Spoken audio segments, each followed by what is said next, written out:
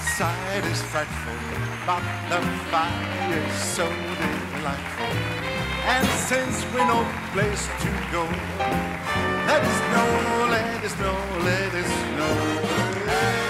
show side, Buon pomeriggio Babbo Natale, ma mi sa che sta un po' fuori tempo massimo, eh? adesso siamo al primo dell'anno, eh, eh, Natale, Natale è un po' superato, eh, quindi meglio, eh, meglio adeguarsi al primo dell'anno, no? Eh? Oh, buon pomeriggio! Lei è uno spazzacamino adesso?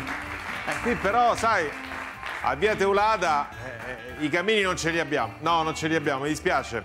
Eh, non ci sono, non ci sono. Eh, così. eh. Allora, buon anno a tutti. Oh, buon pomeriggio. Però l'abito da donna, l'abito quello, no, non ci siamo, non ci siamo, non ci siamo. Vi dicevo, buon anno a tutti, è un anno... pe- Oh, salve di nuovo. Non ci siamo capiti, non è l'abito che non va, ma è la, è la, è la- è la barba, è la barba che, è la barba, è la barba che non va. eh. E allora, buon anno a tutti, dice... Ah, adesso sì, buon anno! Auguri, auguri. Auguri, Marco, Luca auguri. Lombardo, trasformista Grazie mille Marco. di grande successo, Festival di Sanremo e molto altro. Caro Luca, che piacere averti qua. Piacere mio che i miei ospiti sempre nella tua trasmissione. Sono veramente felice di essere il primo gennaio, quindi la prima puntata, di iniziare proprio così. E, e ti fanno gli auguri tutti gli altri. eh, tutti gli Ah, altri salutami, gli auguri di tutti loro. Eh. Allora, anche tu ti sei trasformato nella vita, no? Questa puntata mi sta emozionando molto perché parla ovviamente del cambiamento, no, di quello che è accaduto. E chi più di un trasformista può Certo. parlare di cambiamento? E praticamente io ero un militare, ad un Ah. certo punto ho lasciato il cosiddetto posto fisso per poter fare l'artista. Ho iniziato a girare un circo in Francia, poi ho iniziato un po' a girare il mondo con lo spettacolo. A questo punto poi sono diventato un clown, quindi da militare a clown. È stata la prima trasformazione. Abbiamo le fotografie anche, no? Di quando eri militare. Ecco, di qua. Però. E poi trasformato in un artista, artista a livello internazionale, trasformista.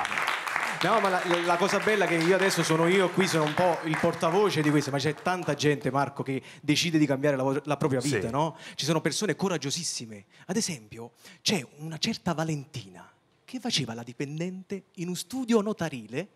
Ad un certo punto ha seguito la sua passione. Eccola. Ha mollato tutto anche lei, un po' di follia ci vuole, ovviamente. Sì, dove è accaduto tutto questo? Al banco di un mercato. Lei Ah. adesso si definisce una fiorista freelance ambulante, diciamo. Hai capito, dallo studio Ed è notarile. che eh, va fiorista. dalle persone, questa è la cosa bella. Vero, vero, Ma ce ne sono tante, io poi le cerco, no? Le cerco su internet perché mi, mi danno anche a me carica, questa è la verità, perché non ti nascondo che ogni tanto uno vuole sapere se sei stato proprio un folle completamente oppure c'è qualcun altro. C'era addirittura la storia di Andrea. Andrea era un giornalista a Milano, giornalista professionista, all'improvviso in Puglia a fare il fornaio. Ah, è qui da giornalista e poi è diventato fornaio, lì in Puglia.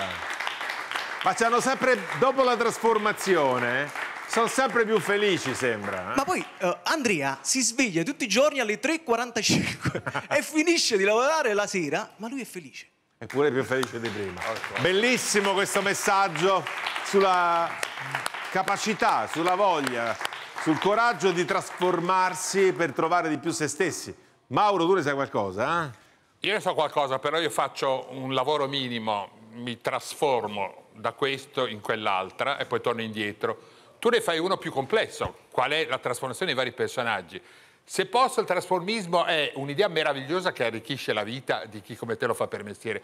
C'è un'unica professione dove non bisognerebbe essere trasformisti ed è la politica. Il trasformismo in politica vorremmo che almeno quest'anno lo si evitasse a noi cittadini per avere un'idea chiara di chi ha il potere e di chi cosa può fare per noi una volta detto, eseguito. Grazie. Parole sante, siamo proprio il primo, quindi... Senti, sai che anche, anche tra i conduttori televisivi è successo, perché c'è un conduttore che ha avuto un'esperienza ventennale da conduttore in televisione, bravissimo, tra l'altro Fabrizio Gatta, no? Qui su Rai 1 era. E lui, eccolo qua, Fabrizio Gatta, proprio poche settimane fa, mi sembra il 7 dicembre scorso, ha preso i voti è diventato un sacerdote, capito? E lui lo ha detto si sente più felice. E quindi questo è il messaggio tuo che facciamo nostro, il coraggio di prendersi se stessi. E la prendersi trasformazione a questo punto è proprio una vocazione per tutti, non solo per i sacerdoti. Grazie a Luca Lombardo che sarà in scena per la prima volta nella tua città che è Napoli, lo spettacolo Pubel. Che significa rifiuti. Che significa rifiuti, vedi? Sì. Rifiuti da rigenerare, eh? la storia di un clochard. Con la regia di Augusto. Fornari, se posso dire questo, che mi ha dato tantissimo. Come Eh, no, quindi- ma certo, gratitudine fondamentale. Grazie. Grazie mille a voi, grazie a tutti. Grazie. Ciao. E